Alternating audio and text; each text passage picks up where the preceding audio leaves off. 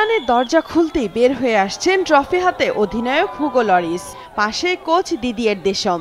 একে একে বেরিয়ে এলেন বিশ্বকাপ জয়ী ফ্রান্সের জাতীয় বীররা। বাইরে তখন অপেক্ষা করছে কয়েক লাখ মানুষ। এবারে ফেরাটা যে তাদের কতটা আনন্দে সেটা বোঝানোর হয়তো ভাষা খুঁজে পাচ্ছিলেন না খেলোয়াড়রাও।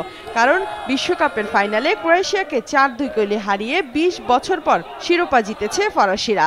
তাই বিমানবন্দর থেকে শুরু হলো তাদের সেই আনন্দযাত্রা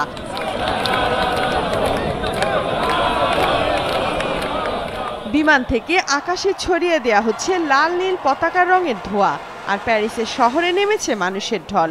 এক কথায় বলা যায়, উন্মাতাল হয়ে পড়েছে পুরো প্যারিস। তাদের বরণ করে নিতে কেউ গাইছেন বিজয়ের গান, কেউ বাড়ির ছাদে, কেউ বা ছুটছেন ঝোড়ো গতিতে গাড়ি নিয়ে। সবার গায়ে লাভ লুদের নীল জার্সি। লাল নীল পতাকা হাতে সবাই যেন নেমে এসেছে রাস্তায়। এরই মধ্যে ছাদ খোলা গাড়িতে চেপে হাজির পগবা, গ্রিজমান, এমবাপ্পেরা। গাড়ি থেকে তারাও নানাভাবে সমর্থকদের সাড়া দিয়ে যাচ্ছেন। এরপর স্বপ্নের সোনালী ট্রফি নিয়ে খেলোয়াড়রা যান প্রেসিডেন্ট ভবনে। সেখানে ফরাসি প্রেসিডেন্ট ইমানুয়েল মেখুর পক্ষে তাদের জন্য আয়োজন করা হয় বিশেষ সংবর্ধনার। সংবর্ধনায় পিছিয়ে নেই রানার আপ ক্রোয়াটরাও। দেশটির প্রেসিডেন্ট আগেই ঘোষণা দিয়েছিলেন, ফলাফল যাই হোক, নায়কের মর্যাদায় পাবেন মানজুকিজ মদ্রিজ রাকিটিজরা ফাইনালে হারলেও সারা বিশ্বের মতো নিজের দেশের মানুষের মন জয় করেছে দালিত শিষ্যরা।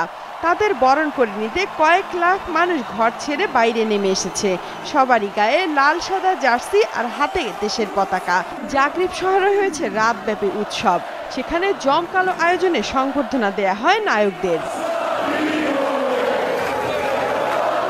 Afsana Kanta Maasranga news desk.